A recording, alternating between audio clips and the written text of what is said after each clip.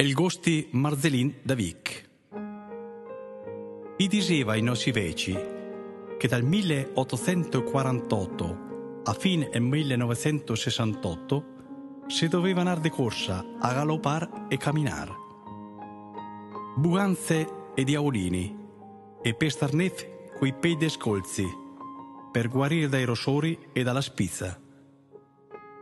Ma là, in cima al paese di Vic, ai piedi delle calchere, a sud-est del Grego, dove i nostri veci imbrozzavano le sdragole di legna, vedeva la luce nel 1890 della cavecia fatta di sassi e di tavole di legno il futurista Agostino Cristofolini, chiamato da tutti in paese il Gosti Marzelin.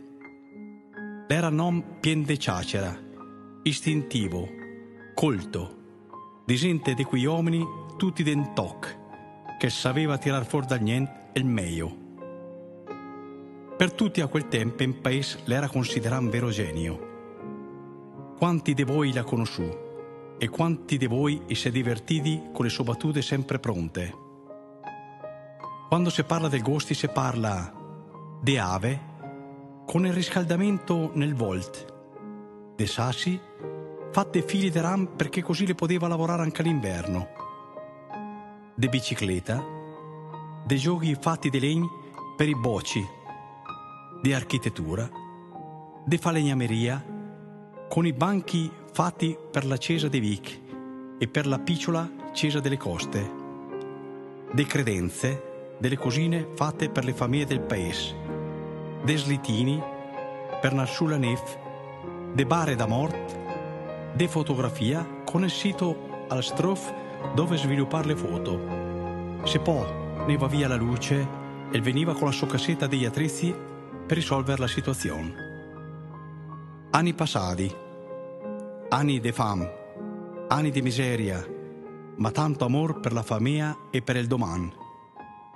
Con un fiol mort giovane e seppellì in terra straniera, ed o femmine da tirar su. Con le budele ingratiate s'aspettava la sera, e poi tutti sentati sul fregolare, con un bel piatto di mosa calda ed o fregolotti, fatti di farina e di latte.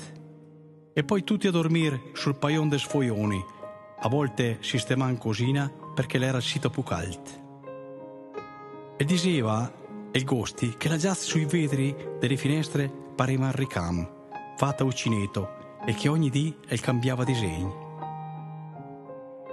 I dis che nel suo volta el parlava le ave, e che i boci quando i passava da socà e si fermava per mangiare il mel restava sul telarin delle arnie.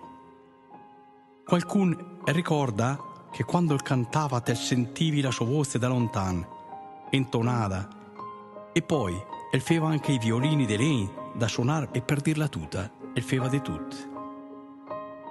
Se entrava su ca come nara all'osteria.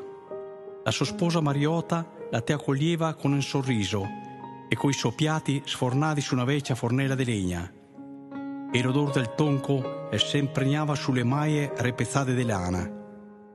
Ma quanti di voi in paesi ha goduto anche delle sue torte, ricamate di crema e dei frutti di bosco? Dopo tanti anni insieme, il Gosti la saluterà sua Mariota e così sia. Ricordava gente, sempre però, che la vita è insegnamento. Bisogna viverla ogni dì e ogni momento come fu sempre Nadal. La vicina di Vic la vi augura buone feste e un sereno 2024.